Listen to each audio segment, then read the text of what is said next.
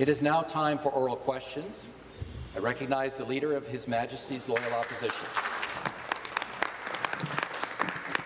Thank you, Speaker, and I will take one second as a member of the class of 2006 to welcome back the member for Nepean.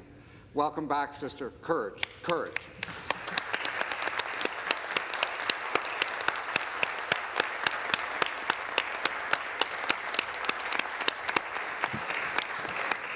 Speaker, since the beginning of this year, Ontario's ERs have been closed more than 100 times. Those closures are happening in rural areas, places like Chesley. Their ER is closed until the end of November because of a shortage of nurses. Just a few weeks ago, most of Chesley's residents packed into a meeting to fight for their community hospital. This government has left Ontarians with no credible plan of action to address the crisis in our healthcare system. For the Premier, why has the Minister of Health neglected her duty during this difficult period?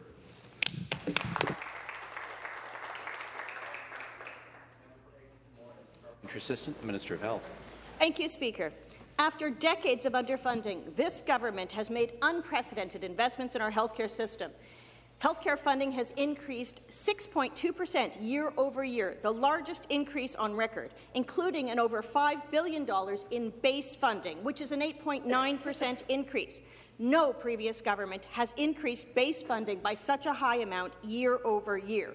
We have added over 3,500 new hospital beds, and we are adding an additional 3,000. We're in the process of building and upgrading 58,000 long-term care beds. And we've got a $40 billion investment in 52 new hospitals and additions and $1 billion for home and community care expansions. We're investing in our healthcare system. We're going to make sure that Ontarians have the resources that they need in hospitals and other healthcare facilities so Ontarians get the care that they deserve. The supplementary question. Well, Speaker, I hear the announcements, but I don't see the results. There are consequences when health care isn't there when people need it. Recently, Eleanor wrote to me about the passing of her daughter, Amelia. Amelia was diagnosed with stage 4 breast cancer, and she was diagnosed late, with her screening pushed from November to February. By then, her cancer was so advanced, the only thing doctors could do was palliative chemotherapy. Eleanor's a retired nurse. She knew that Amelia's diagnosis was likely fatal. But with earlier screening and better access to care, Eleanor believes Amelia would have lived more than the five short months from diagnosis. Speaker, these are real-life impacts of the government's inaction on health care. Will the Premier and Minister commit to meaningfully invest Question. in our health care workers so there are no more stories like Amelia's? Respond. Member for Eglinton Lawrence. Thank you very much. Well, if you want to talk about real results, I, I just want to mention that the College of Nurses uh, of Ontario has registered more nurses because of programs that we've put in place in one year than ever in history, a record. 12,800 new nurses New nurses have been registered, and there's still two months left to go this year. So that is an improvement, a record improvement. Our government has been focused on ensuring that Ontarians have the care that they need where they need it, and Ontario Health Cancer Care Ontario is the government's advisor on cancer and renal system and flows more than $2 billion to hospitals to support direct patient care every year. We're working very hard with Ontario Health, which oversees our overall cancer strategy, to make sure that we have the critical programs that we need and the service services we need to make sure that Ontarians, like Response. Amelia, get the care that they need in a timely way. Thank you. And the final supplementary. Thank you. Again, I hear the announcements. People don't see the results. In September, a four-year-old child with a broken arm was left waiting more than four days for minor surgery at McMaster Children's Hospital. These types of delays can have dramatic impacts on growing kids. Speaker, these tragic stories are driven by staffing shortages that are now commonplace. How much worse does the crisis in our healthcare system have to get before the Minister and the Premier give nurses and frontline healthcare workers the support that they need? Member for Eglinton Lawrence. Thank you, Mr. Speaker, and thank you to the member opposite. Uh, nothing is more important than protecting the health and well-being of Ontarians, especially our children. And I saw the interview with the mother. Uh, I understand that the young man had to wait uh, a few days for uh, an operation on his elbow, which is is is not fair, and we would like to change that and make sure that it doesn't happen again. However, the mother did say in the interview that once the child got care, the care provided was exceptional, and that the child uh, is now recovering. Um, certainly, we're making significant investments to address the province's surgical backlog, and we've also dedicated $6.5 million to pediatric hospitals to support them to ramp up the surgeries. And we've also provided 4.6 million more funding for hospitals to add additional acute care beds, nine at CHEO, and 10 uh, acute Response. care beds there as well, and three ICU beds at Sick Children's Hospital. Thank you.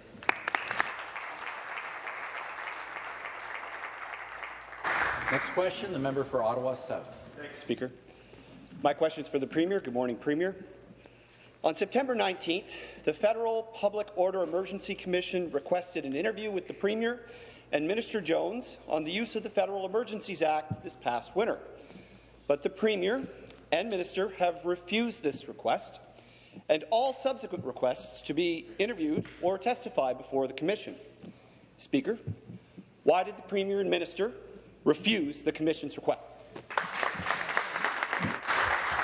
reply, Government House Leader very much, Mr. Speaker. Uh, I think the member uh, opposite would agree that this is certainly uh, uh a policing matter and, uh, and not a, a, political matter. This is a uh, federal a federal commission which is looking into the federal government's invocation of the Federal Emergencies Act. Now, we are providing assistance to the Commission by uh, submitting uh, uh, key cabinet documents and, of course, ensuring that witnesses are available to the Commission. Thank you.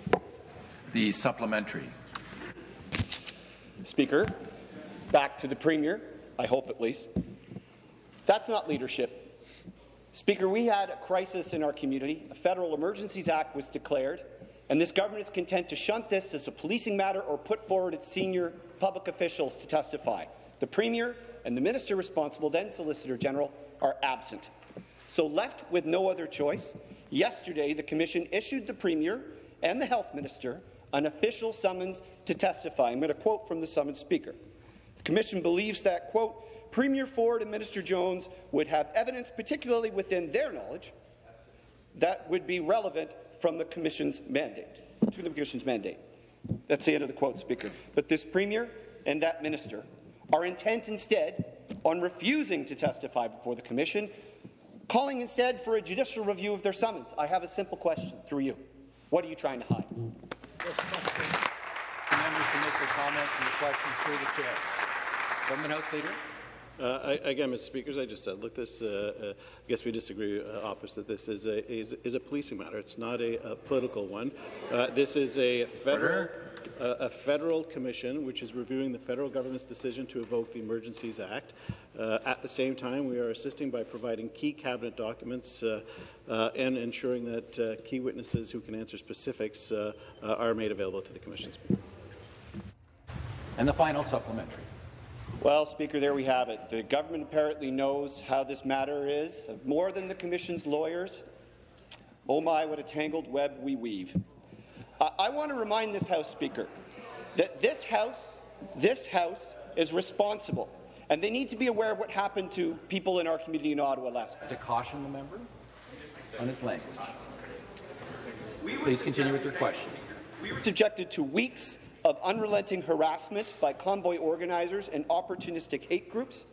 And in our time of need, this Premier and that minister made promises that were not honoured. In fact, Speaker, it took them three weeks to seize and tow 39 trucks, and they gave those trucks and the keys back to those truck owners without a fine a week later.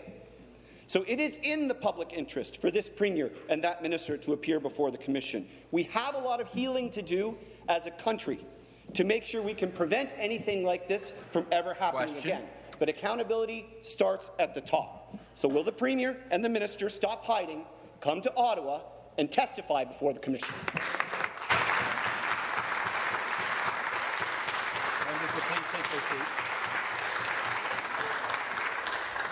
Government House Leader. Uh, again, thank you, Mr. Speaker. Uh, again, I suppose it's a difference uh, of opinion uh, on this, Mr. Speaker. We believe that this is a policing matter and not a political matter, Mr. Speaker. Uh, again, uh, to the member opposite, this, of course, is a, a federal commission of inquiry uh, into the federal government's decision to invoke the emergency, the Federal Emergencies Act. At the same time, we are providing assistance to the inquiry by providing key cabinet documents and ensuring that uh, uh, witnesses are available to speak to uh, certain specifics, Mr. Speaker. Thank you. Next, we have the member for University Rosedale. Thank you. Uh, my question is to the Minister of Health. In August, I asked your government to help Sick Kids Hospital address their staffing shortages, their $45 million funding shortfall and their growing surgery waitlist. Sick Kids has a surgery waitlist that has over 3,400 children waiting beyond the clinically acceptable time for their necessary surgery, putting their long-term health at risk. Minister, three months later, the crisis is getting worse. On Thanksgiving weekend, Sick Kids ICUs were at full capacity my question is, is your, why is your government failing to help sick kids meet the demand for care? Again, I'll ask the members to make their comments through the chair. Parliamentary Assistant to the Minister of Health to reply. Thanks very much, Mr. Speaker, and thank you to the member opposite for the question. As I said before, nothing is more important than protecting the health and well-being of all Ontarians, especially our children.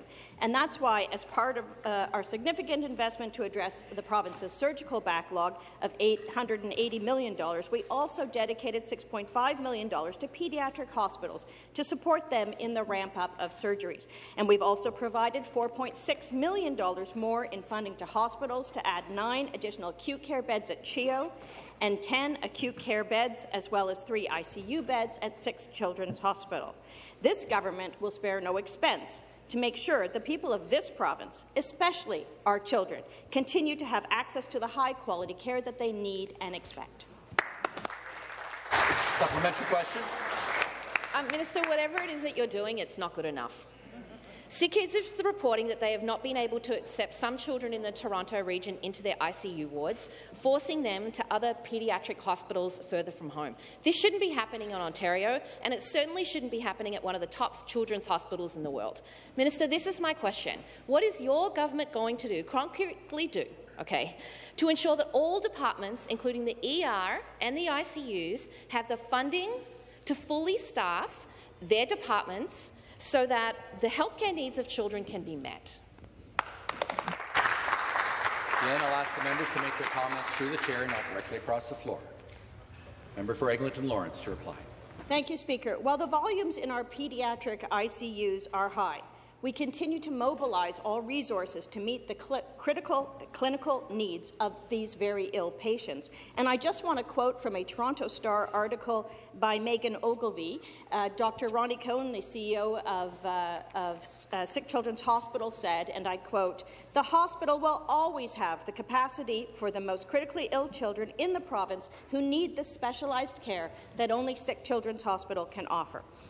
Uh, so according to Dr. Cohn, the resources are there. We're going to make sure the resources are there because we want to make sure that our children in Ontario and all other Ontarians Order.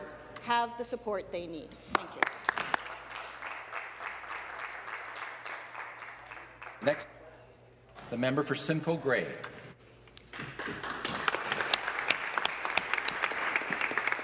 Thank you, Mr. Speaker. My question is for the Minister of Economic Development, Job Creation and Trade. The minister was recently in Japan and South Korea to meet with international investors in the automotive and EV battery sector. Ontario already has a number of Japanese and Korean manufacturers employing thousands of people across the province. Speaker, two of these manufacturers are in the riding of Simcoe Grey, Honda and Nippon Sheet Glass, employing hundreds of residents. Speaker, can the minister please provide us with an update on those business meetings?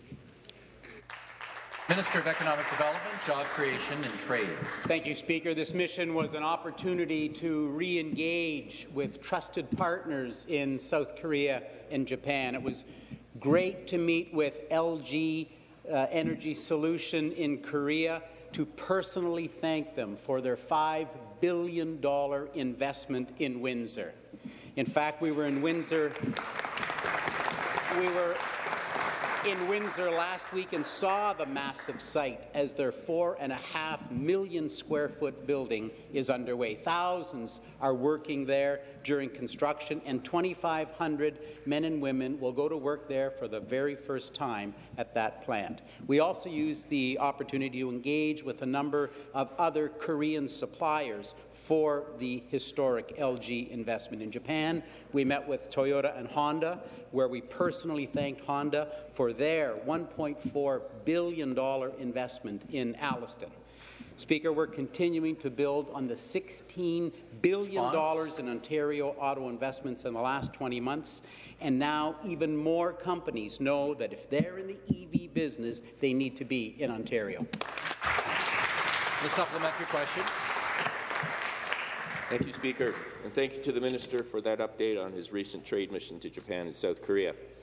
Speaker, during this time of global uncertainty and while the world shifts towards electrification, Ontario needs to secure further investments to support the further future of auto and EV battery manufacturing in this province.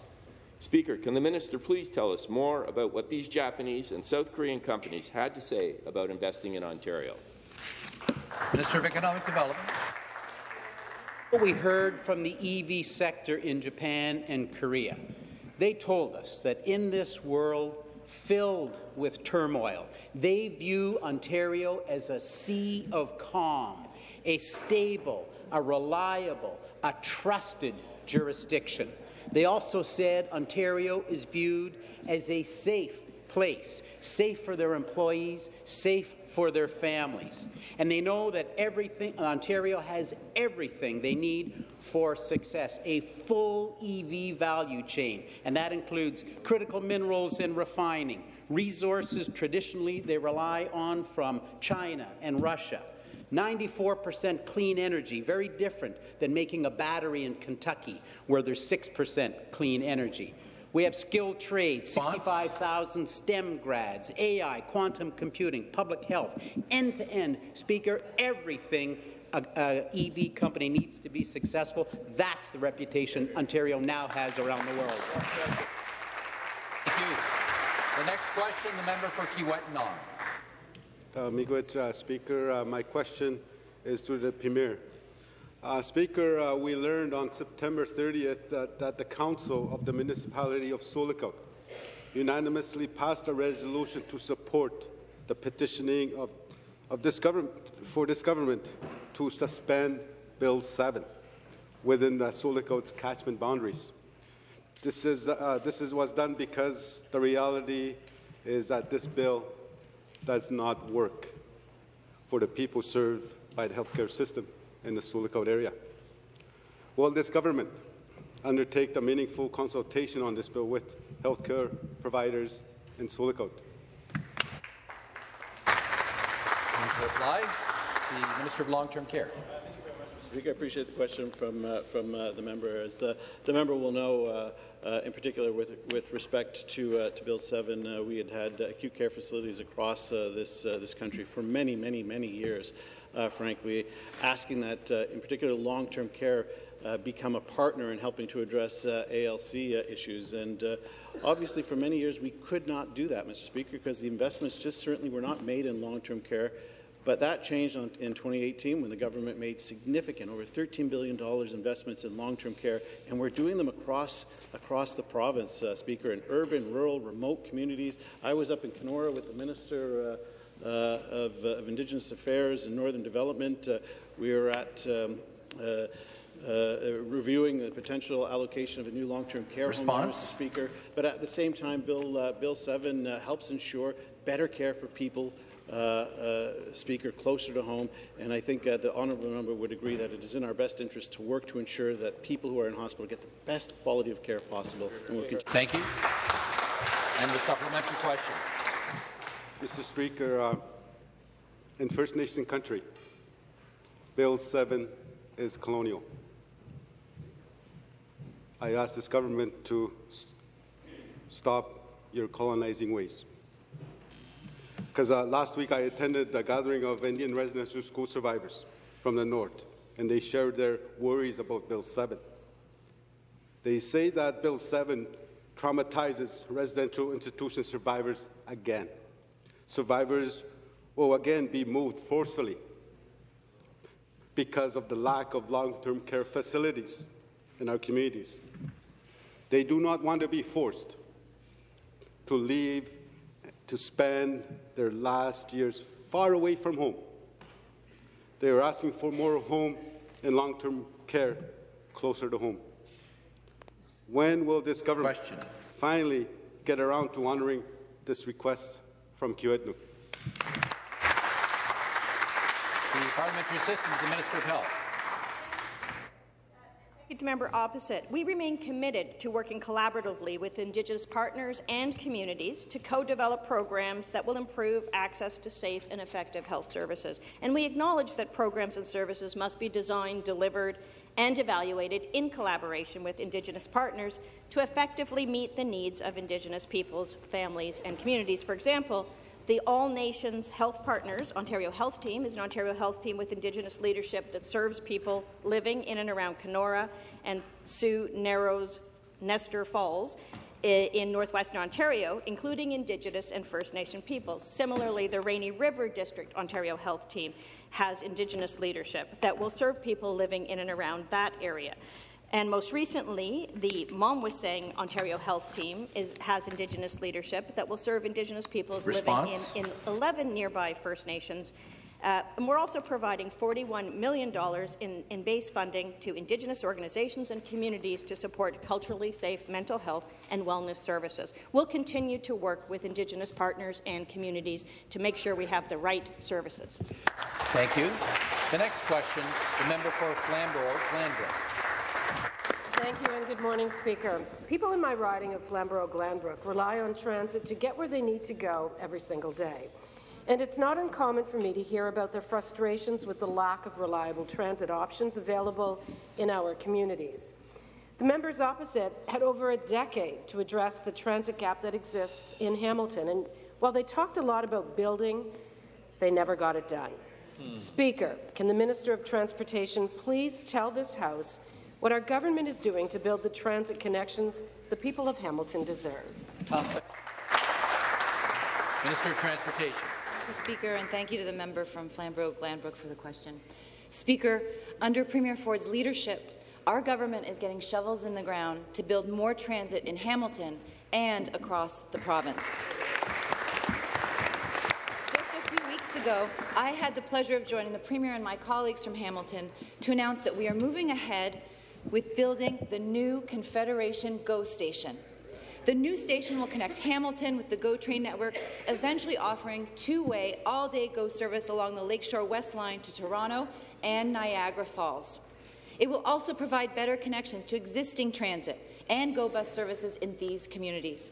Speaker, with projects like the Confederation GO station and the Hamilton LRT already underway, our PC government has a plan to get the people of Hamilton connected, and we are getting it done. Supplementary question. Thank you, Speaker, and thank you to the Minister for the work that you are doing to improve transit right across the GTHA. Speaker, Hamilton has seen significant growth as a destination to live, work, and play. And by 2046, the City of Hamilton could see its population grow by up to 35 percent. If you consider this growth, the need to invest in and build public transit is clear. But it's not just about accommodating this growth, it's also about protecting our economy. Speaker, could the Minister of Transportation please speak about the economic significance of this project? The Minister of Transportation. Speaker, and thank you again to the member for the question. Speaker, this government is focused on an agenda of prosperity, and we are moving full steam ahead with our historic plans to build and expand public transit because now is not the time for inaction. Our unprecedented investments to get critical infrastructure projects like the Confederation GO Station built will stimulate future growth and job creation. By 2041, over 100,000 people and 63,000 jobs will be located within five kilometres of this new station. Under Premier Ford's leadership, we are connecting more people to jobs, housing and transit in one of the fastest growing regions of the province. This will unlock access to Ontario's full potential and set the foundation for long-term economic growth in our province. Thank you, Speaker. Thank you. The next question, the member for Ottawa West Nepean. Thank you, Speaker. Ontario students are struggling, but this government's cuts to public education mean they aren't getting the support they need.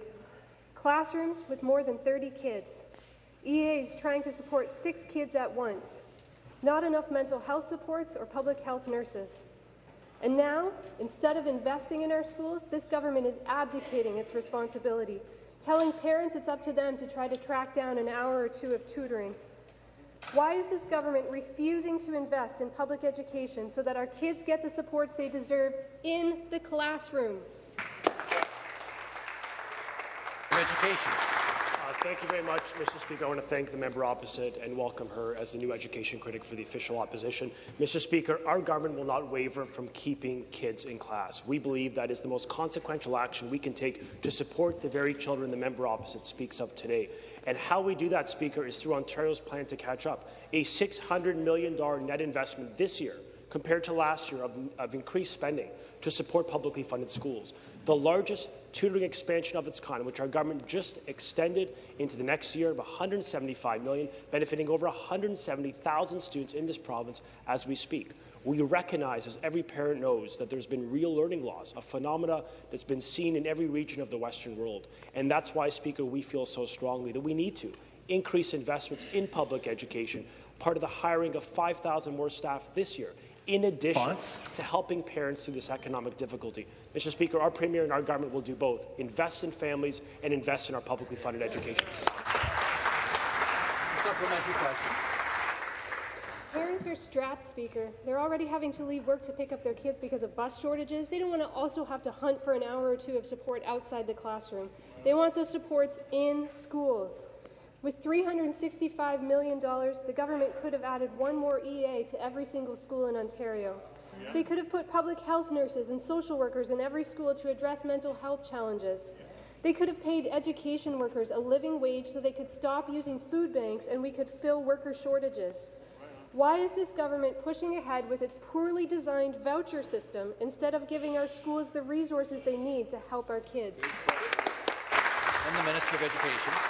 Mr. Speaker, at a time of historic inflation, high inflation and economic challenge affecting all of our constituents, I find it incredibly offensive that the NDP and Liberals would oppose Order. an investment directly into the pockets of parents because only a New Democrat and Liberal would believe they know better, a politician, a union president, or a public servant, than a parent of this province. There's a reason, Speaker. There's a reason, Speaker, why our government has an enhanced mandate from the people of Montreal, because they can count on us to invest in them, to provide direct support in parents in this province to support their kids, because we know they play a critical role in the life of their child. But in addition to providing $200 for every child and $250 for every child with special education needs, now I could confirm, Speaker, 800,000 applicants as of this morning. We know, Speaker, we can also step up support for our publicly funded schools. 5,000 more staff, including, Response? Mr. Speaker, 1,000 more educators in our classroom, better training of our staff, and a modern curriculum focused on skills. This is going to get kids back on track. The next question, the member for Ottawa-Orléans. Thank you very much, uh, Mr. Speaker, and good morning. My question is for the Premier. Ontario families are facing rising prices on every front. Rising housing prices, rising energy prices, and perhaps most challenging, rising food prices, Mr. Speaker. We can all agree that eating is no luxury. Ensuring your children have breakfast before school is no luxury. But for many families, families right across this province, the grocery bill at the end of the week is becoming harder and harder to afford. In these challenging times, in these challenging times, instead of competing for customers, Mr. Speaker, Ontario's largest grocery chains all but admitted that they collude and plan to keep prices at these inflated uh, rates through the holidays. This is unacceptable at any time, Mr. Speaker, but as we Question. consider rising inflation, as we consider the approaching holidays, this becomes that much harder to bear. With rising food prices, what is this Premier's government going to do to ensure that Ontario consumers, our friends and family and neighbours, are not taken advantage of by some, by some of the biggest companies in this pro- uh, Thank you. To reply. The Minister of Finance. Well, thank you, Mr. Speaker, and thank you to the member opposite for that question. Of course, the federal government and all parties have launched uh, the committee and the uh, process for that, and we'll let them do their work. Uh, but while we're at it, Mr. Speaker, what about that carbon tax that the federal government, that this party supports, put sure. on the backs of the people of Ontario? That, Mr. Speaker, is causing rising costs and food prices in Ontario. Mr. Speaker, let me tell you what John, Ontario's done. Let me take you back to when we reduced the gas tax by 5.7 cents a litre, Mr. Speaker. Let me take you back when we took license plate fees off the backs of Ontario drivers. Mr. Speaker, let me take you to today when we just increased the minimum wage, the second highest in the country, Mr. Speaker. Let me tell you what we're doing tomorrow.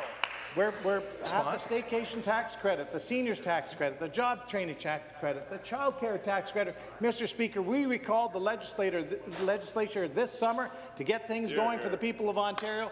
Support us. Again, I'll ask the members to make their comments through the chair. The supplementary question. Uh, thank you, Mr. Speaker, and my supplementaries for the premier, uh, for the premier again. Food prices are on the rise, and we've just heard that this government has no plan to protect Ontario consumers from price gouging. And while major grocers, while major grocers collude to keep food prices artificially high during the holidays, they are considering charging their loyal customers just to use their credit card. Grocery stores, some of whom offer credit card-based loyalty programs, want to now charge their customers for the privilege of using their credit card to buy food. So Ontario consumers will be paying higher food prices, prices fixed in part by collusion. They're going to be paying credit card fees. Order. And now the grocers and other businesses want to take Question. a little bit of skim off the credit card purchase, Mr. Speaker. I suppose everyone needs to wet their beak a little bit, but that's going a little bit too far. So, Mr. Speaker, my question, Quebec has passed legislation to prohibit charging consumers a fee to use their credit cards. Will Ontario do the same? Minister of Finance. Well, Mr. Speaker, again, uh, I, I, don't know uh, if the uh, member opposite was actually listening. And in fact, uh, when we recalled the legislature this past summer, uh, Mr. Speaker, the member opposite had an opportunity to vote to bring costs down for the people of Ontario. What did the member opposite do? They voted against the measures that we put in the budget bill, Mr. Speaker. They had an opportunity. But let me tell you, Mr. Speaker, we have a plan for Ontarians. We have a plan to build Ontario. We took that plan to the people of Ontario. It was roundly endorsed by the people of Ontario, as witnessed by all the people on both sides, Mr. Speaker. That plan is to get shovels in the ground, to build hospitals, to build highways, to build long-term care, to support labour, to get more workers, retrain workers for the jobs of today and for tomorrow, and to help Response. keep costs down for the people of Ontario. Mr. Speaker, we are delivering for the people of Ontario. Yeah, yeah.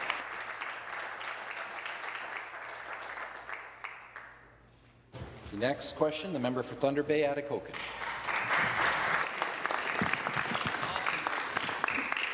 Thank you, Speaker. This government is committed to unlocking Ontario's full economic potential by bringing jobs back to this province. Ontarians need opportunities to participate in our growing economy and ensure a prosperous future for themselves and their families.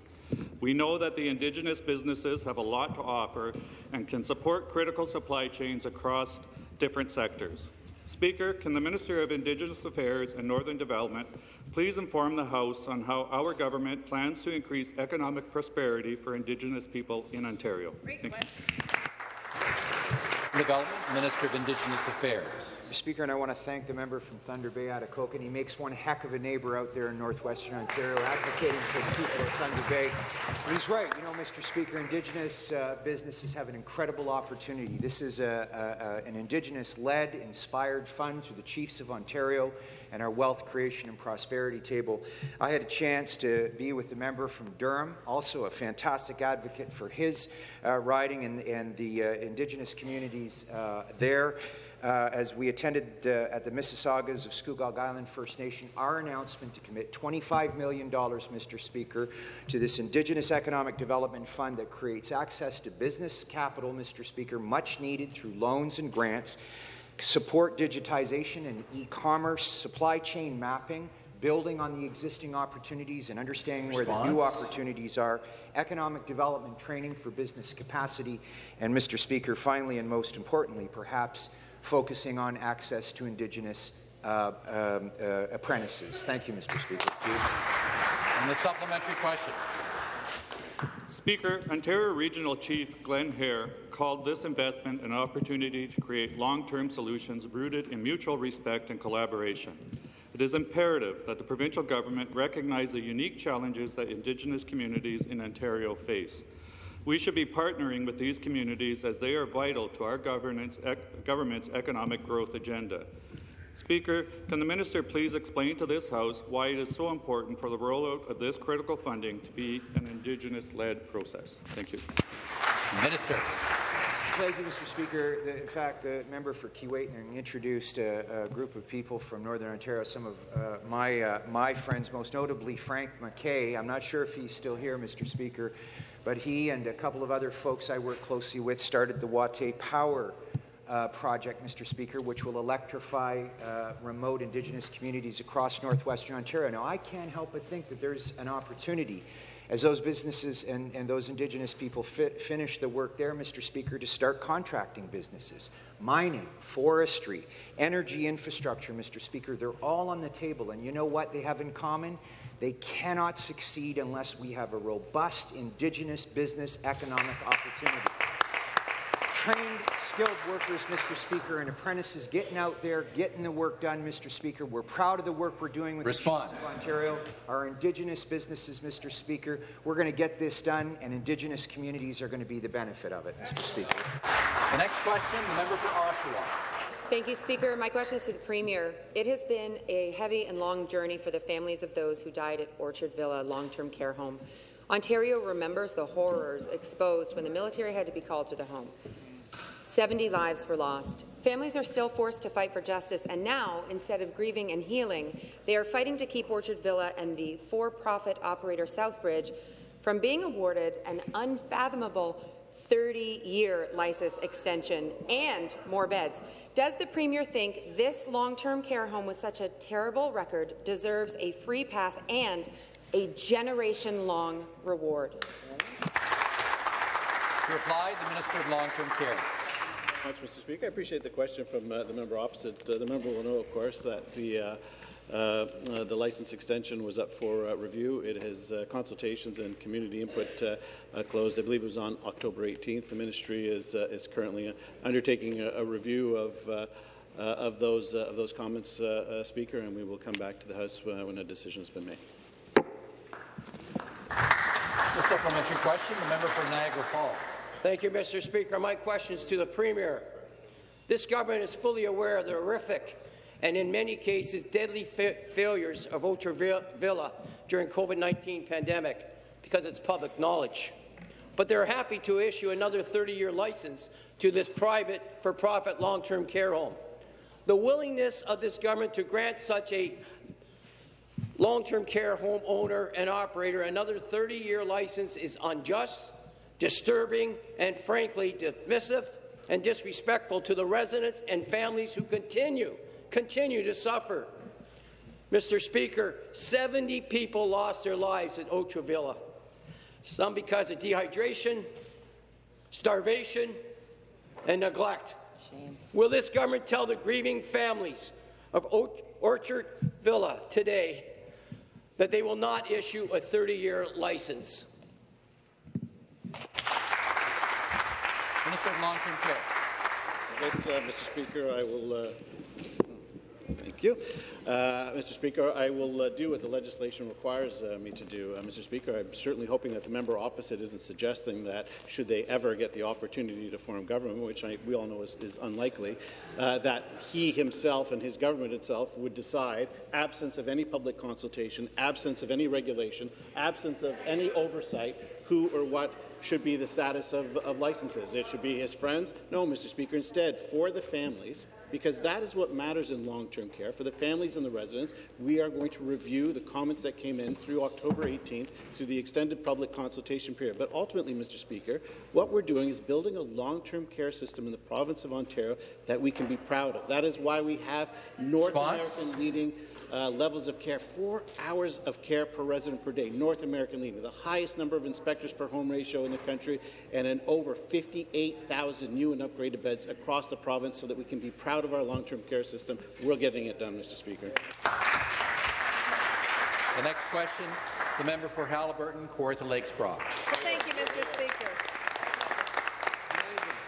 Mr. Speaker, my question is to the Minister of Colleges and Universities. Um, our healthcare workforce faces challenges after difficult full years, starting with the policies of the past Liberal government and now due to the COVID-19 pandemic. The healthcare system, neglected by the previous Liberal government, was stretched to the limits. This resulted in many nurses, unfortunately, leaving the profession when we needed them the most.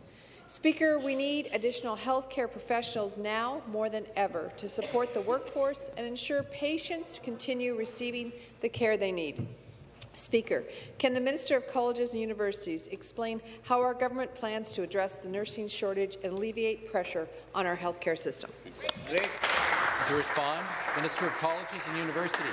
Thank you, Mr. Speaker, and thank you to the member from Haliburton, Kawartha Lakes Brock for raising this important question. This government understands that investments in college and university hospital research not only strengthens Ontario's existing innovation and commercialization capacity, but also grows our province's skilled workforce and positions us as a global leader. That is why our government is committed to supporting research and innovation that leads to the discoveries and advancements that make a real impact on people's lives. Whether our researchers are developing new techniques to detect illnesses faster, finding new ways to understand the human brain, or working on the latest AI technology, Ontario's colleges and universities and research institutes are at the forefront. To help further the great work being done in this sector, our government has invested more than $198 million in 2022 into research projects at colleges, universities, and research hospitals across the province. This funding supports 241 research projects across the province and will be integral in building, renovating, and equipping research facilities with updated technology, as well as attract Response? new research talent. We will continue to work hard to strengthen Ontario's college and universities hospital research initiatives and thus provide them with the ability to adopt advanced technologies to remain competitive and continue moving Ontario forward. The supplementary question. Well, thank you, Mr. Speaker, and thank you to the Minister for that update. While it's good to hear more nurses are enrolling, Ontario still has a major discrepancy in where those nurses are located. We know that Toronto, Peel and Ottawa have a nursing shortage, but smaller regions and those in the north are often in desperate need of healthcare staff. We've all heard our government talk about the importance of the people of Ontario being able to receive health care in their home communities, and yet these sorts of disparities still exist across the province. Speaker, can the minister explain how our government will start addressing the regional gaps in our healthcare system and not just open up more seats at schools? Minister of Colleges and Universities. Thank you again to the member from Haliburton, Kawartha, sorry, Haliburton, Kawartha Lakes, Brock, for raising the important issue. Ontario has incredible research potential, and we are working to realize this through investments in organizations like the Ontario Health Data Platform and our new agency, Intellectual Property Ontario. Just last week, I announced that the esteemed Peter Cowan has joined IPON as a CEO and will be working hand in hand with our chair, Karima Bawa, and the board to strengthen intellectual property development and commercialization within Ontario. Ontario has always been a leader in research and cultivation of life-changing and enhancing products. From the latest in technology to life-saving medic medication, our researchers are at the forefront. With Peter and IPON, Ontario will take the next step and ensure that the benefits of the research go on to support future Ontario-based research and that Ontario is the first to benefit. When tax dollars help fund research, taxpayers deserve to see the benefits from it. Here, here, here. Thank you. The next question, the member for Niagara Centre. Thank you, Speaker. Through you to the Premier. Since 2018, I've been sounding the alarm about the horrific conditions faced by so many of our most vulnerable citizens living in supportive living accommodations. Last week, the Toronto Star released an investigative report into SLA homes. They found food with black mold, soiled mattresses and furniture, bed bugs, and rats the size of footballs. Residents and former employees report that senior management refused to address these issues, instead telling residents with nowhere else to go to, quote, feel free to move out.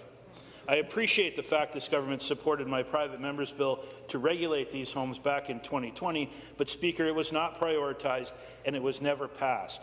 Through you, Speaker, what action has this government taken since then to protect these vulnerable residents? Minister of Long-Term Care. Uh, thank you very much, Mr. Speaker, and uh, thank the member uh, uh for that uh, for that question. Uh, of course, as reported recently by the media, what we saw was completely and absolutely unacceptable. Speaker, we make investments into the community uh, in the anticipation that our partners will work closely with us.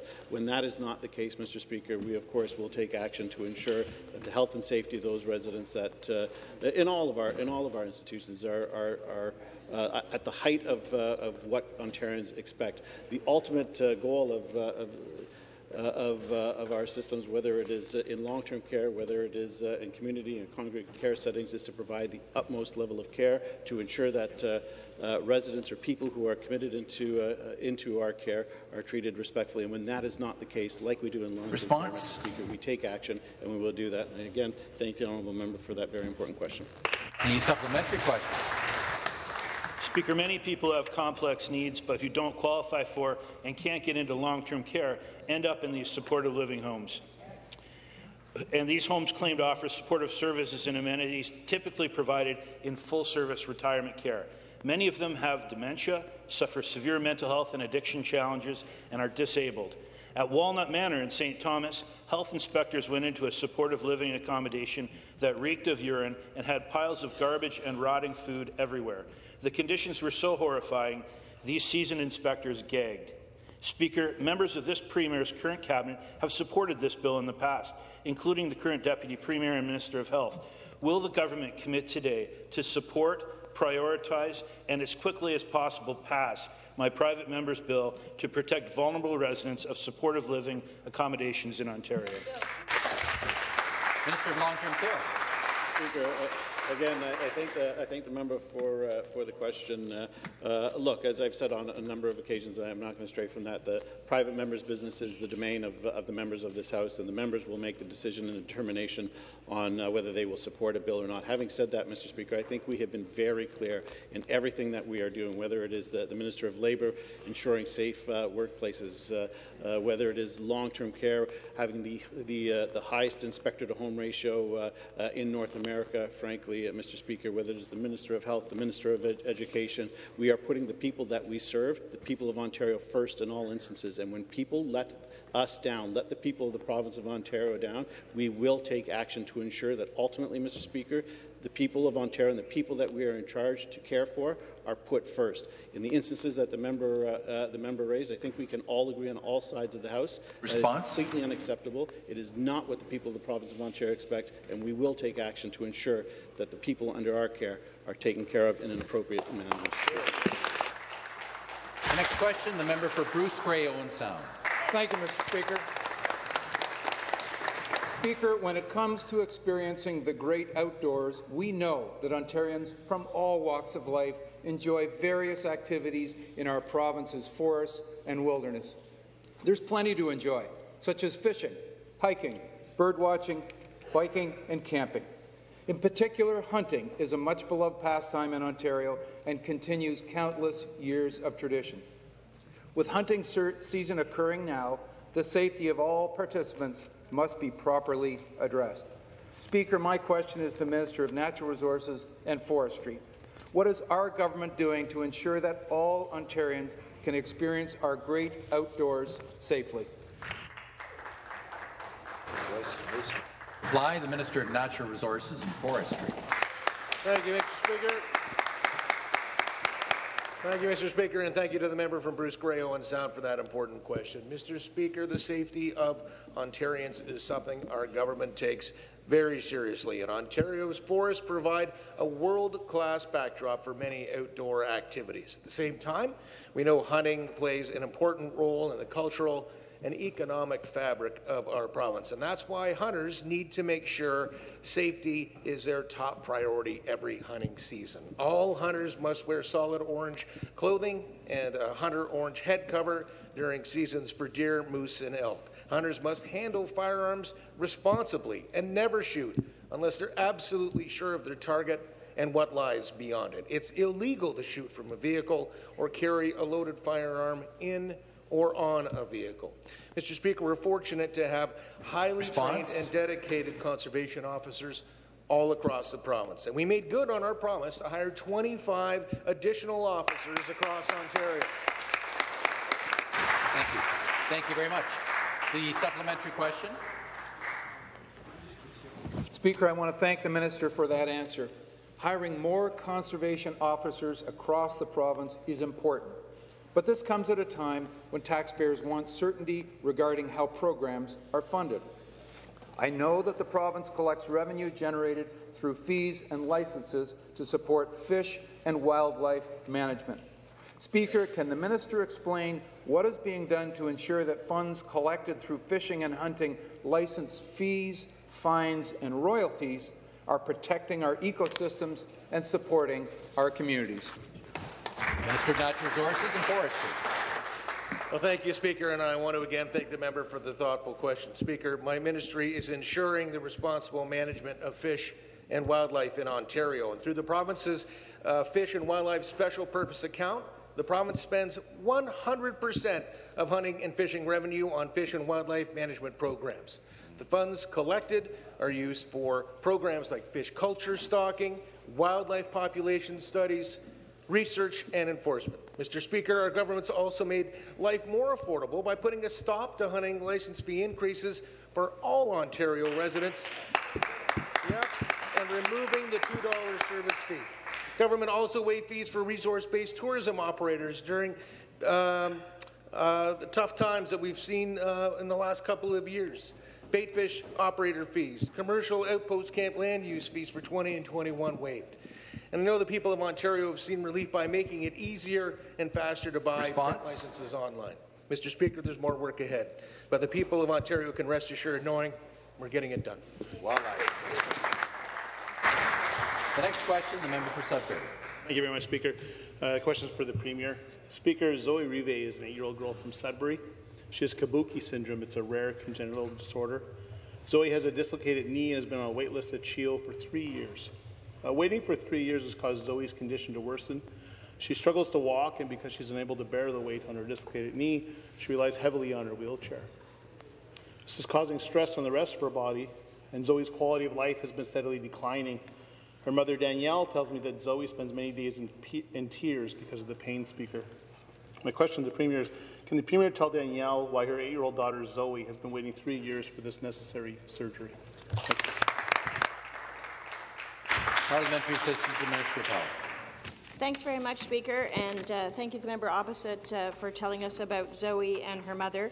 As uh, the member opposite knows, we've made significant investments to try to clear the surgical backlog uh, across the board. Um, as part of our $3.3 billion investment in the hospital sector, we've also dedicated 800 and sorry, $300 million to reduce surgical backlogs, part of the broader investment of $880 million to reduce surgical backlogs. And specifically, we've uh, made investments at pediatric hospitals like CHEO, as I said before, um, because nothing is more important than the well-being of our children. So I'm sorry to hear about uh, Zoe's weight, and certainly uh, we should uh, make sure that Zoe gets care as quickly as possible. But that's why we're investing significantly to address the backlog that has come out uh, as a result of COVID, and why we've also had uh, dedicated funding of $6.5 billion Response? for pediatric hospitals, specifically to address these types of concerns. Thank you. Your question? Speaker, and back to the Premier. The stats don't mean anything. If you're a mother waiting for a five-year-old for three years, having to wait three years for surgery is causing other medical problems for Zoe. And Danielle, her mother, says Zoe is gaining weight at an alarming speed due to her inability to walk, Speaker. It's causing worry of diabetes. And Zoe's been waiting for far too long already, and she continues to be bumped farther and farther back. Speaker, what eight-year-old girl do you know that is wishing for, eight, for knee surgery? Zoe does, every single day for the last three years. My question, Speaker, when will the Premier finally admit that his government is failing to properly address wait times and surgery backlogs in our healthcare system? Member for Eglinton Lawrence. Thank you, Speaker. As I said before, we know that the volumes in uh, our ICUs in pediatric hospitals are high, and we're continuing to mob mobilize resources to meet critical needs of very ill patients. The Premier, myself, and uh, uh, others were at uh, CHEO just recently to, uh, to look at the children's treatment centres there and to meet with some of the providers to learn more about uh, the needs of CHEO and other paediatric hospitals.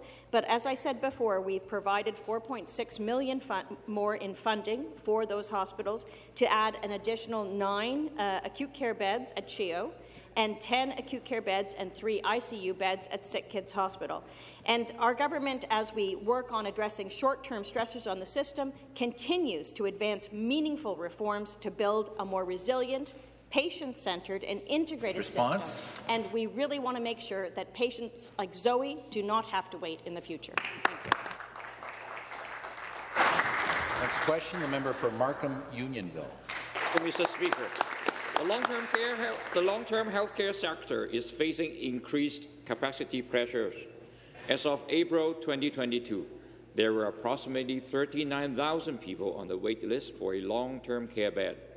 While seniors wait to be placed in a long-term care home, their health care needs often falls to their spouses, children, and other loved ones. Speaker, families and friends are excellent at providing love and support but most are not healthcare practitioners, and they cannot provide the same level of care as one. Speaker, what's the Minister of Long-Term Care doing to ensure our seniors receive the care they need right now? And to reply on behalf of the government, the Minister of Long-Term Care much, Mr. Speaker. I want to thank the member for Markham Union for this question. It's actually a very important one. Uh, he raises a good point. Uh, there are still a number of people who are on the, the long-term care waiting list.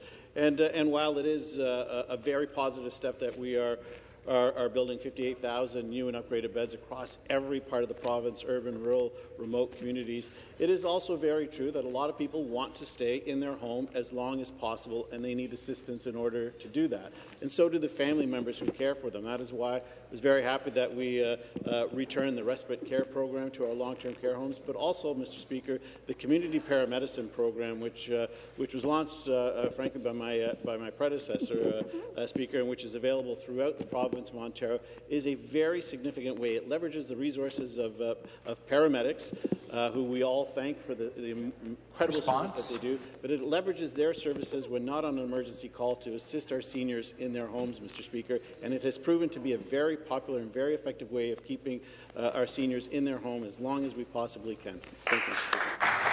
The supplementary question. Speaker, as Ontarians age, their healthcare needs grow and the impact of this need has ripple effects that can be felt throughout the community. When families reach a point where they can no longer provide the full care need for a loved one, they turn to hospital, long-term care, and emergency services. Globally, healthcare systems are facing unprecedented challenges due, to, due in large part to the impact of the COVID-19 pandemic, and ours is no exception. The minister mentioned that the community paramedicine is a cooperative effort with the Ministry of Health to address cross-sectoral challenges. Speaker, could the Minister of Long-Term Care please explain how community paramedicine addresses the strain of these sectors? Thank you. Minister of Long-Term Care. Yeah, thank you again, Mr. Speaker. Uh, uh, and again, uh, actually, a really good question from uh, from the member. Uh, uh, the community paramedicine program, as I referenced in the first uh, question, is now available. I'm, I'm, very happy to say it's available throughout the province of Ontario uh, with our partners. And it's not just about visiting homes uh, uh, or visiting individuals in their homes, seniors in their homes, but it also allows us the ability to partner with our seniors who need the extra care to monitor to monitor them. Often, Speaker.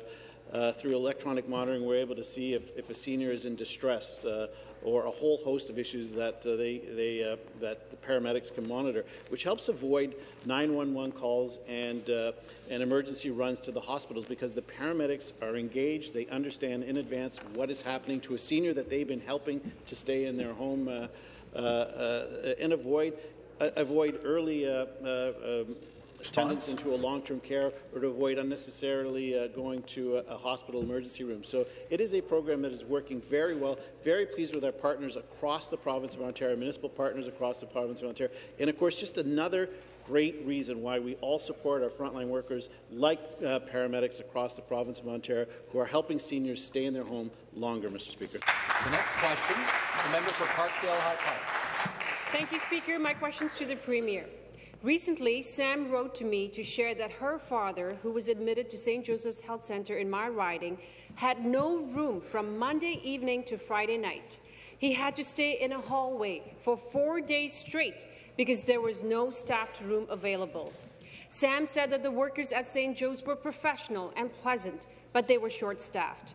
Speaker, frontline staff have been very clear. They have asked the Premier to repeal Bill 124 and urgently recognize the credentials of tens of thousands of internationally trained healthcare workers.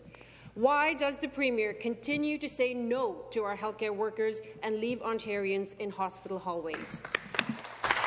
To reply, the member for Eglinton Lawrence.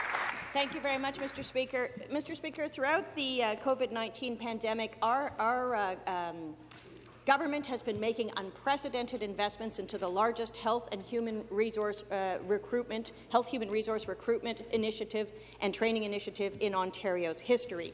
Um, already, we've added 11,700 new healthcare workers since March 2020, and we've invested $4.9 billion to hire 27,000 long-term care staff.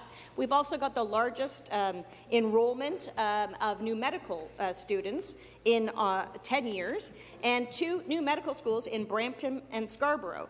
And we're working, as I said, on short-term stressors while also trying to plan for the future and fix the system long-term.